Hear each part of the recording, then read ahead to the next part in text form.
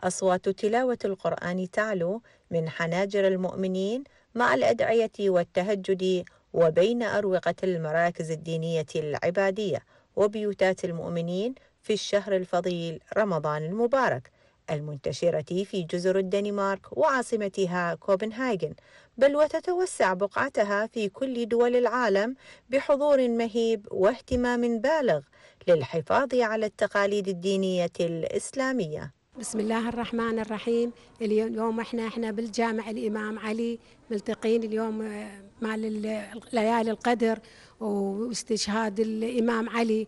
ويعني أجواء حلوة رمضانية وحس إحنا ببلدنا وإن شاء الله صحة وعافية للجميع. يا ربي. ويعني نحس إحنا بأجواء كلش كلش حلوة. وانجمعنا وتقدمت المواد الفطور وانجمعنا قاعدة حلوة بالإمام علي.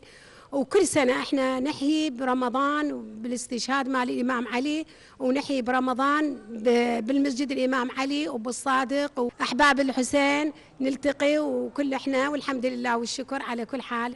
نلتم بالحضور لأن نحس بأجواءنا أجواء العراق نحس إحنا قاعدين بالعراق ويعني ريحة أهلنا هناك. فدمت هذا الصلب الصلب الشيعة علي بن أبي طالب تنتهي الشيعة تقام البرامج الرمضانية والأمسيات القرآنية والموائد الرحمانية في مسجد الإمام علي عليه السلام وكافة المؤسسات الدينية وبيوت المؤمنين بقسميها للرجال والنساء لإحياء هذه الليالي تمسكا بسنة النبي محمد صلى الله عليه وآله وأهل بيته لشهر رمضان المبارك. مبارك للأمة الإسلامية بحلول شهر رمضان المبارك. وهذه ليالي القدر إن شاء الله. ونبارك للأمة الإسلامية جمعاء في هذا الشهر الفضيل شهر الرحمة والغفران.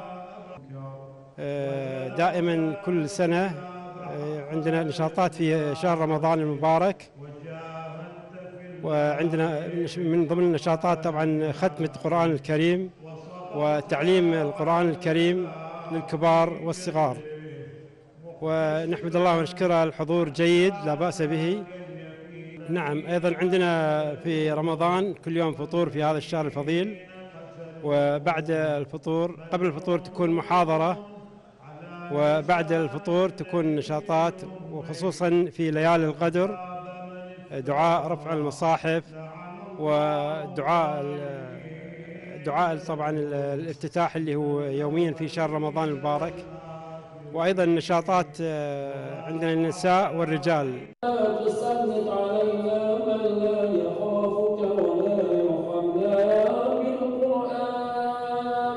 إحياء للسنن الإلهية الإسلامية وحفاظا على التقاليد الدينية الرمضانية يقيم المسلمون شعائرهم في العاصمة كوبنهاجن بصحبة أسرهم الكريمة.